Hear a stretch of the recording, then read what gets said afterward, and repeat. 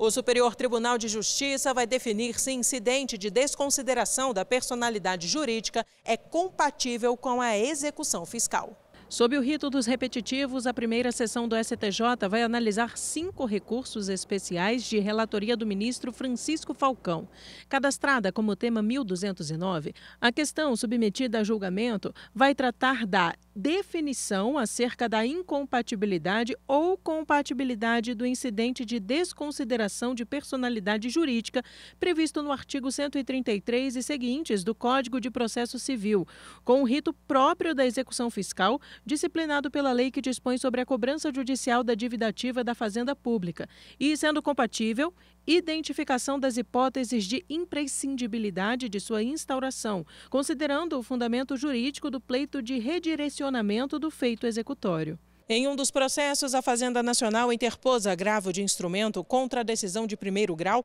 que não permitiu o redirecionamento da execução fiscal e instaurou o incidente de desconsideração da personalidade jurídica nos termos do artigo 133 do CPC. O Tribunal Regional Federal da Terceira Região manteve a decisão do juízo, confirmando a obrigatoriedade da prévia instauração do incidente para comprovação da responsabilidade do sócio diante da dissolução irregular da pessoa jurídica.